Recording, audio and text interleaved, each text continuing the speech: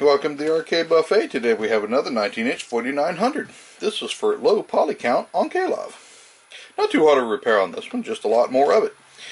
Did a good reflow, a dag wire, voltage VR 302, 301, 303, 352, 201, and 351, Q901, IC301, a neck socket, and D208. Fired it up and it looks fantastic. All controls work as they should. Everything's been adjusted to this tube, so it'll have to be readjusted when it gets back home. But as you can see, it looks fantastic.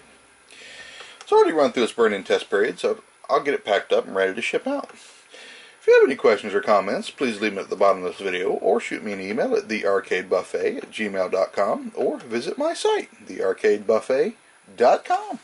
Thanks and see you soon.